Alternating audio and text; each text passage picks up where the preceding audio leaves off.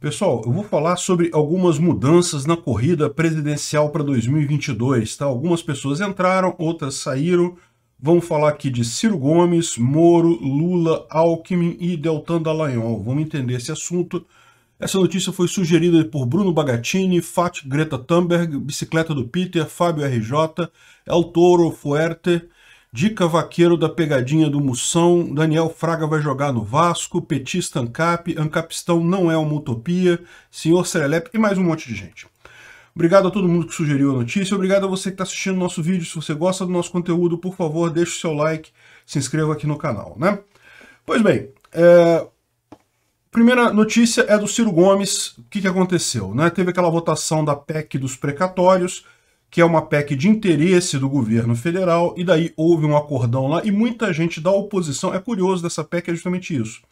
Muita gente do governo, da base que apoia o governo, não votou favorável a essa PEC, mas ao mesmo tempo muita gente da oposição votou favorável a essa PEC.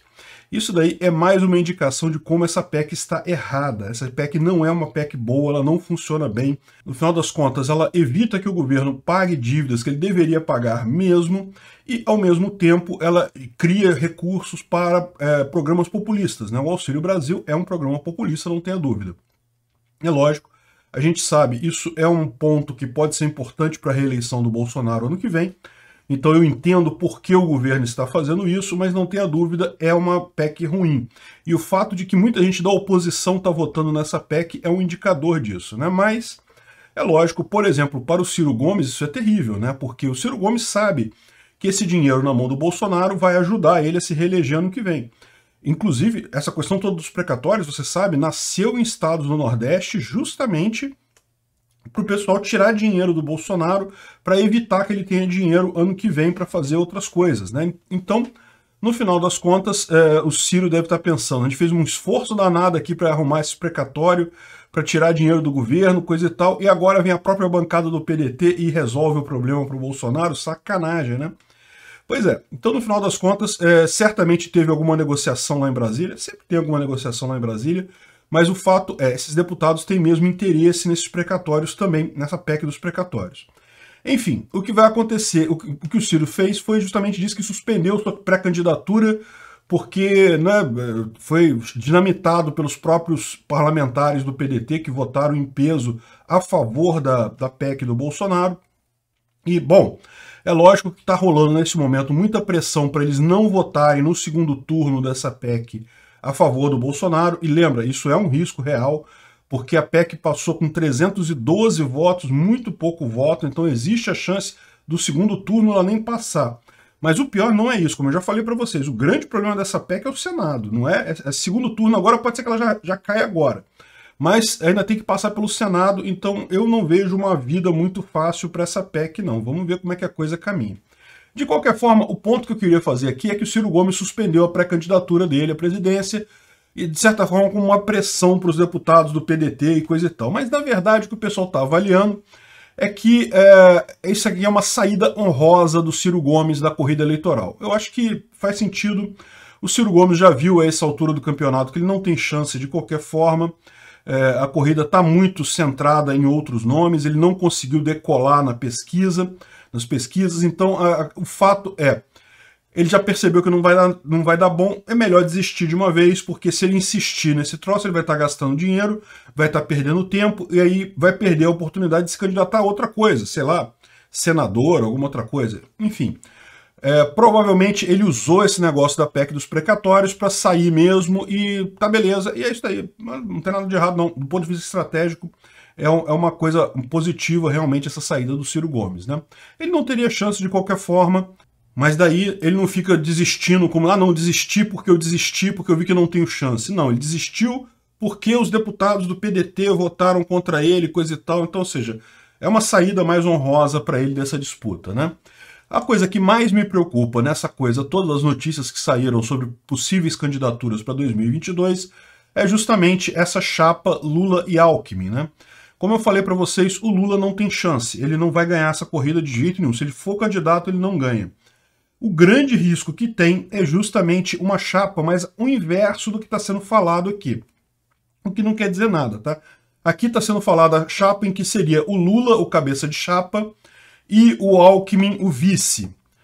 A questão toda é, é aqui, tá aqui, né? O Lula como candidato a presidente da República e o, o Geraldo Alckmin como vice. Essa chapa aqui perde do mesmo jeito. Lula como cabeça de chapa perde, ponto final. O Alckmin não vai ajudar ele em nada, mas o grande risco é a inversão. Né? Se for uma chapa com o Alckmin, candidato a presidente, e o Lula como vice, aí sim a gente teria alguma coisa que faria realmente muito sentido, né? É lógico, não deixa de ser curioso você notar que as as lâminas da tesoura se fechando, né? o teatro das tesouras. Alckmin, tanto tempo, foi a, a, a, alternativa de Lula, né? não era contra o Lula, PSDB versus PT, não sei o que lá. E, no entanto, meu amigo, olha que coisa, né? os dois agora formando a mesma chapa. Olavo tem razão, que coisa, né?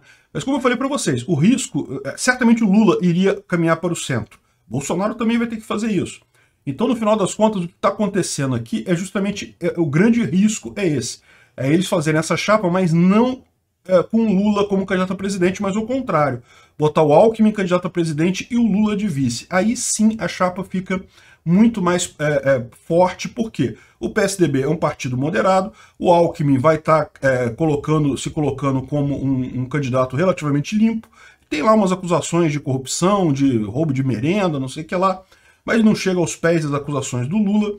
E o Lula vai trazer muita gente para essa chapa também, como vice, né? E vai acabar com aquela história igual que a gente tem lá na, na Argentina, né? Quem, quem, comanda de fato é a Cristina Kirchner, que é a vice. O problema dessa história aqui, que eu acho que não vai dar gás, isso daqui não vai dar liga, é porque Alckmin não é uma nulidade perto de Lula.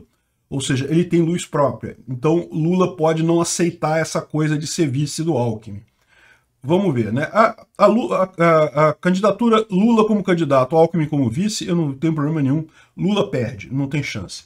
Mas o contrário é que me preocupa. Bom, e aqui tem o pessoal ainda puxando o saco do Moro, que o Moro pode chegar a 30% se houver redução de candidatos para a segunda via, não sei o que lá.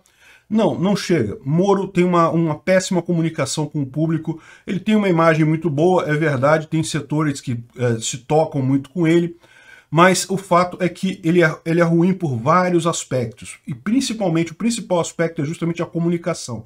Ele passa soberba quando ele fala. Não estou dizendo que, que ele seja soberbo, não, eu não conheço o cara. Mas quando ele fala, ele passa soberba, ele passa eu sou melhor do que você. Talvez anos e anos se comportando como juiz, né? É, faz parte. Mas é, é, isso é uma coisa muito ruim para candidato na prática. Por mais que o povo tenha uma imagem boa dele, no que ele começa a falar, meu amigo, a coisa desanda. Então, o Moro não leva a sério. Ficou com uma pecha muito forte de traidor do Bolsonaro.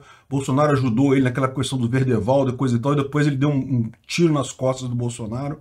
Realmente foi uma coisa ali é, muito chata aquilo ali. Então eu não vejo o Moro com nenhuma chance também nisso daí.